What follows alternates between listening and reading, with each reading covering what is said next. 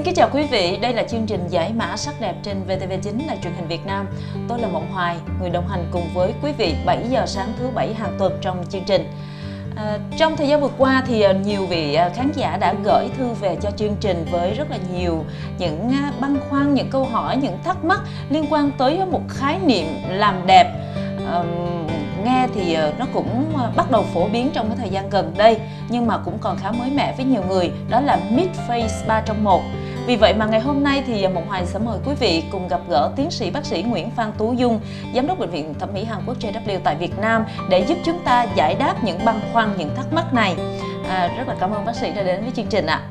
Chào Mộng Hoài ạ. Chào quý vị khán giả. À, thưa bác sĩ, mid face 3 trong 1 uh, nói về face thì có nghĩa là sự những cái can thiệp làm đẹp ở trên khuôn mặt đúng không ạ vâng. nhưng cụ thể là làm ở đâu ạ đầu tiên thì mình nói là mid face là gì face tức là khuôn mặt vâng mid tức là middle mid tức là đường, đường giữa đường giữa mặt. À. à, vậy đó. Thì trước đây thì à, ai cũng biết rằng khi mình có tuổi thì người ta thấy là cái phần mặt mình chảy xệ xuống. Dạ. mà ta thường thấy đầu tiên là cái mi dưới. À. cái mi dưới nó sự nhấp nhăn da dư mỡ dư chảy xệ xuống.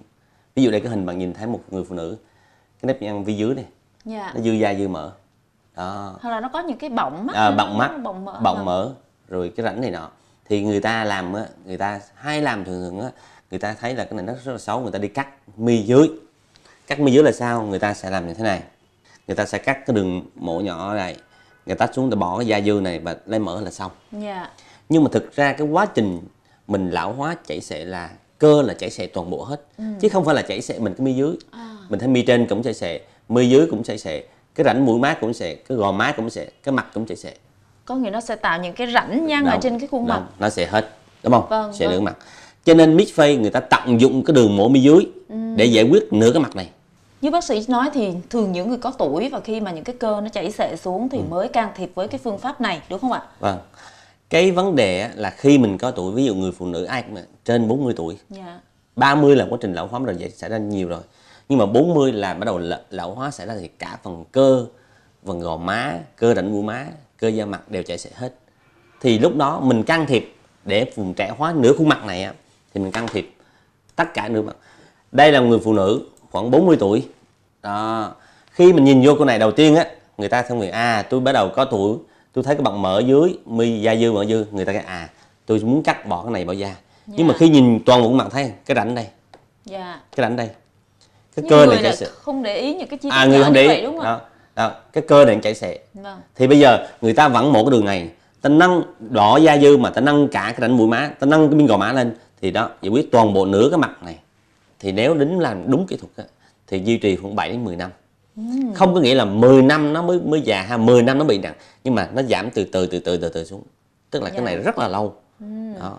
Nhưng cái quan trọng hiệu quả là sau khi mổ xong là mình thấy cái khuôn mặt mình nó trẻ rõ ràng khác biệt. Một cái điểm lo ngại nữa là liệu nó có bị ờ, đơ cái cơ khi mà mình làm không để tạo cái cơ mặt nó không được tự nhiên không bác sĩ sau khi phẫu thuật?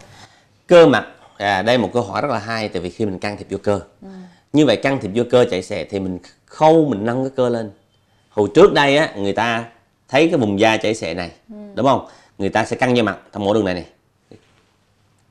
Ta kéo mạnh ra thì đa phần cái mặt nó sẽ đơ rất là xấu tại vì yeah. Dạ. sao mình kéo từ đây mình tách tới đây mình kéo gián tiếp lên còn mix face người ta chỉ mổ đây mổ tách tới vị trí nào nâng vị trí đó lên thì nó không bao giờ đơ hết vâng. đơ là sao ta mổ đường này tách tới đây mà ta kéo cả cái mặt để cho cái mắt ránh mất rãnh mũi má này ừ.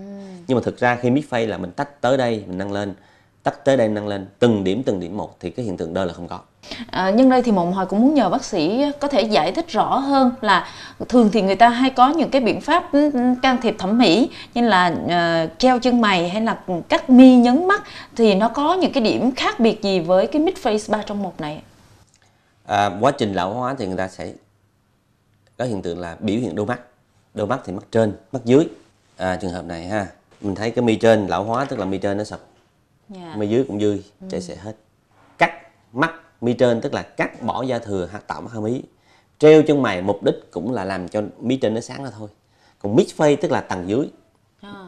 toàn bộ can thiệp phần dưới tức là giải quyết phần da dư mỡ dư giữa gương mặt ừ. chảy xệ vùng rãnh má cơ của má chảy xệ yeah. Dạ. như vậy mix face là can thiệp tầng dưới mà can thiệp ba vấn đề dưới còn cắt mắt mi trên hay treo chân mày hay nhấn mí là can thiệp mí trên để tạo mắt hai mí và làm trẻ hóa. À, làm thế nào mình có thể có những cái lưu ý hay là gìn giữ gì không để mà mình giữ được cái sắc đẹp à, nó bền vững như từ 7 tới 10 năm như là bác sĩ vừa nói làm đẹp hay bất kỳ cái gì quá trình mình có có tuổi thì nó lão hóa cứ theo tự nhiên ai cũng vậy hết. Chứ không thể là làm một cái gì là vĩnh viễn không có gì là vĩnh viễn hết. Vâng. quan trọng là mình làm sao mình ăn uống chế độ mình sinh hoạt tốt thì quá trình lão hóa mình diễn ra chậm hơn. Cái chế độ sinh hoạt ừ. ăn uống và công việc nếu mình quá nhiều stress, mình quá nhiều căng thẳng, thì chắc chắn là quá trình lão hóa rất là nhanh. Cho nên cái chuyện làm đẹp, nhưng mà quan trọng nhất là cái sức khỏe mình nữa. Mình phải ăn uống, sinh hoạt chế độ, đó quan trọng.